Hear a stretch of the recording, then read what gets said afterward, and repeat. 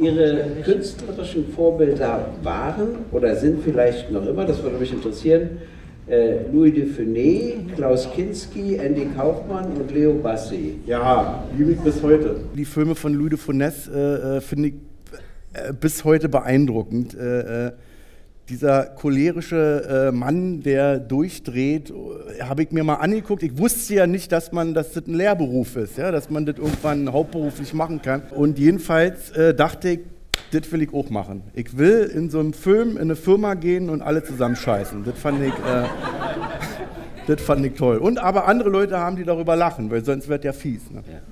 Und der, also der hat mich geprägt. Das, das fand ich äh, bis, bis heute. Verstehe ich. Und Klaus Kinski?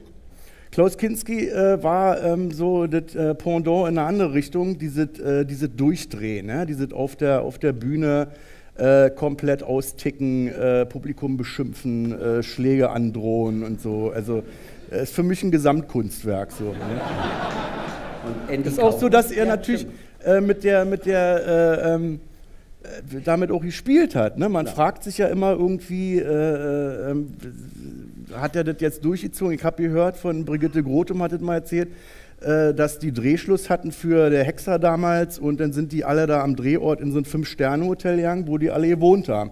Und am, äh, draußen am Eingang äh, war Presse, die hat Kinski gefragt, wohnen Sie auch hier? Und er sagte, nein, ich wohne im Wald.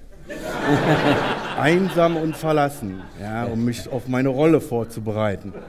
Da war der Journalist weg und dann ist er auch in seine Fünf-Sterne-Suite gegangen und hat schlafen gelegt. Also das war ich glaube, dass da längst nicht alle irgendwie Bei Edgar so Wallace mochte ich bei ihm immer den Blick, wenn er das erste ja, ja. Mal, ja, Wo man beim Blick schon immer wusste, das ist der Mörder. Ja. Also das war bei Kinski hätte man sich jetzt nicht denken können, ja, das ist jetzt der Sparkassenangestellte von, der, von der Ecke. War, der war einfach immer der Mörder. Und Andy Kaufmann?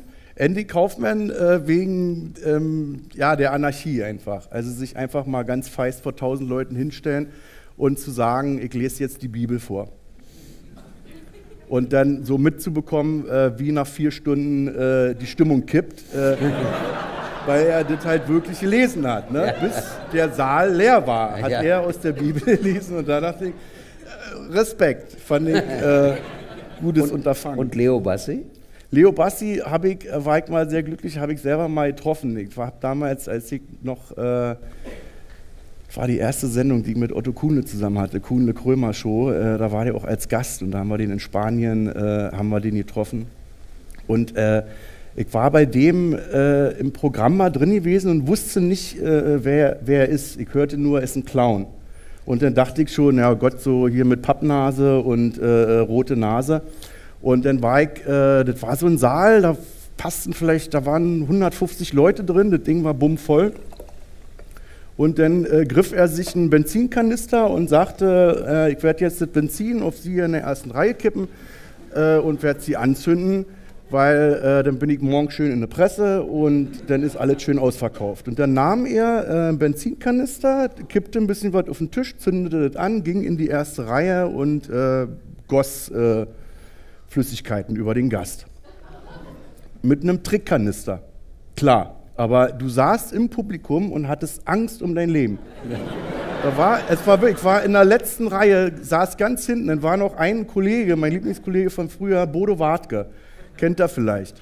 Der, der, der war auch in dem Programm mit drin und äh, Leo Bassi ging durch die Reihen und sagte zu Bodo Wartke, hast du Bock mitzumachen? Und dann sagte Bodo, ja, klar, gerne.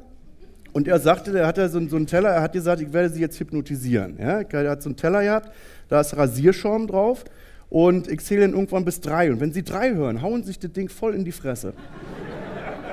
Und dann dachte ich, Bodo Wartke, ich habe eine Woche vorher, bin ich mit dem noch aufgetreten äh, und wusste, äh, ja, natürlich kann er nicht zaubern. Und er sagte irgendwann drei und er haute sich das Ding voll in die Fresse rein und wir saßen alle so da und dachten, ey, wenn der jetzt sagt, hier muss einer sterben, dann wird doch einer sterben.